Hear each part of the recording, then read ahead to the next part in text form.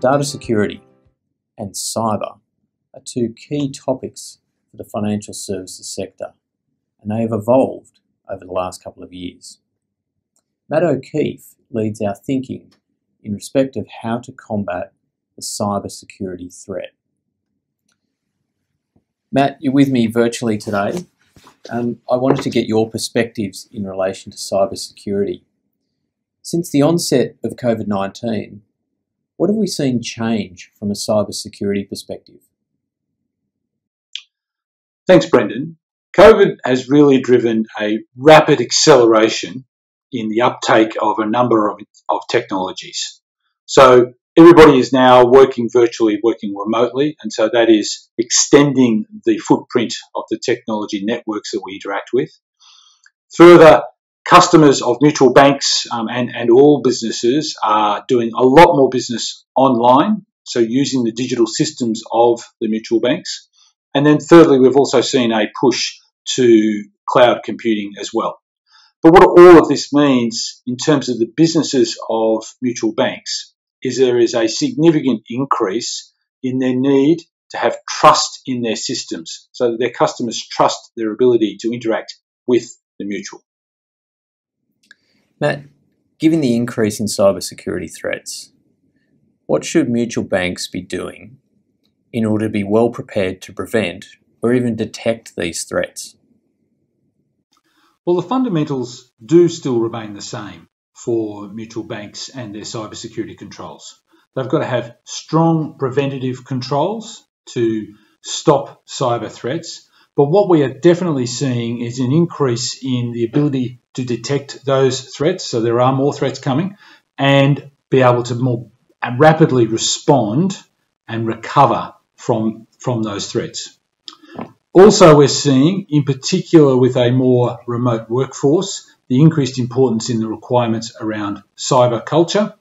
And then lastly, um, and as backed up by the regulatory environment, we do see that in an increasing cyber threat environment, the three lines of defence and embedding cybersecurity in the first, second, and third line of defence is also critically important for mutuals. So, Matt, how would you describe a well prepared organisation? Well, I think that fundamentally there are three key indicators of a cyber prepared organisation. The first is around strategic alignment. Organisations that have a very clear understanding of their business strategy and what's important to them and make sure that cyber is aligned to and part of delivering that strategy.